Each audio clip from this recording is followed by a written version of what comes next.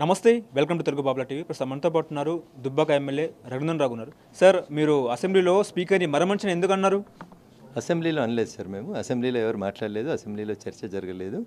Assembly ఆరు నిమిషాల్లో ముగించిన తర్వాత బయటకు వచ్చిన తర్వాత అది నేను కూడా అనలేదు. మా గౌరవ సహచర సాటి శాసనసభ్యులు గౌరవనీయులు ఈటల రాజేందర్ గారు ఆ పదం ఆడారు ఎందుకంటే బీఎస్సీకి మమ్మల్ని విలువండి అని మేము రిపీటెడ్గా రిక్వెస్ట్ చేసినప్పుడు వారి నుంచి స్పందన రానప్పుడు వారు మాట్లాడినటువంటి మాట తప్ప ఏ కుర్చీని అవమానపరచాలని ఏ వ్యక్తిని ఇండివిజువల్గా కించపరచాలనేది ఈటల రాజేందర్ గారి ఉద్దేశం నా ఉద్దేశం అని నేను అనుకోవడం లేదు. ఇట్లా అందరూ క్షమాపణ కోరుతారా?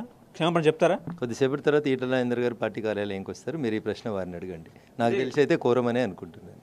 సస్పెండ్ చేసే అవకాశం ఉందంటారా? ప్రభుత్వానికి కావాల్సింది అదే. ఎక్కడికి వెళ్ళి బీజేపీలను బయట పెట్టాలి?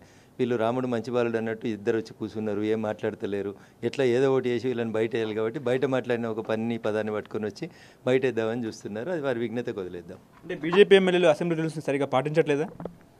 అదే ఆ రూల్స్ ఏంది? ఆ రూల్స్ ఏం పాటించాలి? ఏం పాటించకూడదు? పుస్తకం తీసుకొని నాలుగు గంటలకి అసెంబ్లీ మీడియా పాయింట్ దగ్గరికి రమ్మని ప్రశాంత్ రెడ్డి గారిని అడిగినా వారు వస్తారని ఆశిస్తున్నా.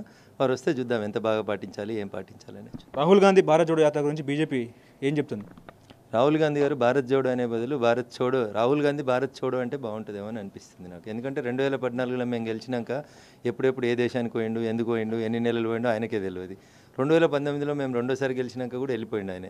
అధ్యక్ష పదవి తీసుకోమంటే కాడి కింద పెట్టి పారిపోయినవాడు ఆయన ఏం జుడాయించుతాడు? ఆయనకు నిజంగా జుడాయించాలని ఉంటే భారతదేశం నుంచి మీ తాత విడగొట్టిన పాకిస్తాన్ని జుడాయించు భారతదేశంతో నిజంగా నీకు భారత్ జోడో యాత్ర చేయాలని ఉంటే మీ నాయనమ్మ విడగొట్టిన బంగ్లాదేశ్ని జుడాయించు.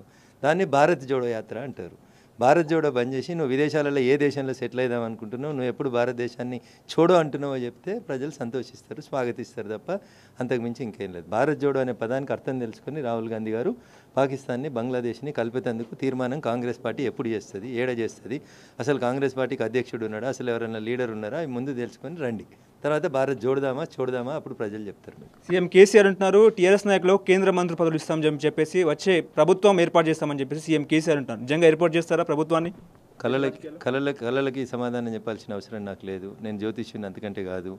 పోయినసారి పద్నాలుగు ఉన్నోళ్ళు ఈసారి తొమ్మిది అయినరు. వచ్చేసారి మూడు అవుతారని నేను అనుకుంటున్నా. మూడు ఉన్నోళ్ళు కూడా ఈ దేశాన్ని ప్రధానమంత్రి అవుతాం అనుకుంటే అది వారి విఘ్నత ప్రజల ఆలోచన. ఈడీ బీజేపీ అస్త్రంగా వాడుకుంటుందా?